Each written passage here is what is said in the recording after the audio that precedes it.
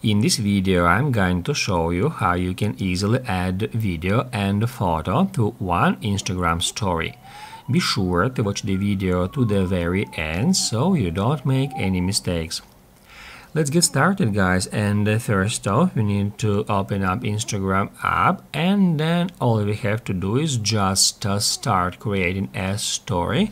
Let's say here we can swipe across the screen. And now we can use our camera to record short video just like that. Or also we can upload some from the camera roll. I'm just gonna tap right here and then we can choose uh, any video in that way.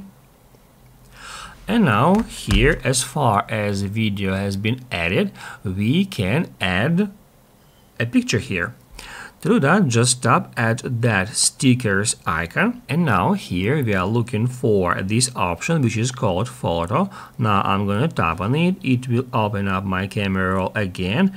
And now we can choose any picture from here. Let's say uh, that one. And then we can rotate it. We can resize it. We can move it around. Also if we tap at this picture that will change its shape just like that. And also we can easily I'm just gonna keep it uh, circle.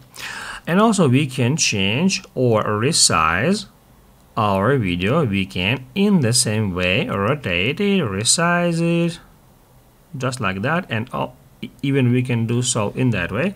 And now guys moreover we can add another picture here in the same way to do that just go to stickers select photo then choose different one and basically that's how it can be easily done guys so if this video was helpful for you, don't forget to hit the like button.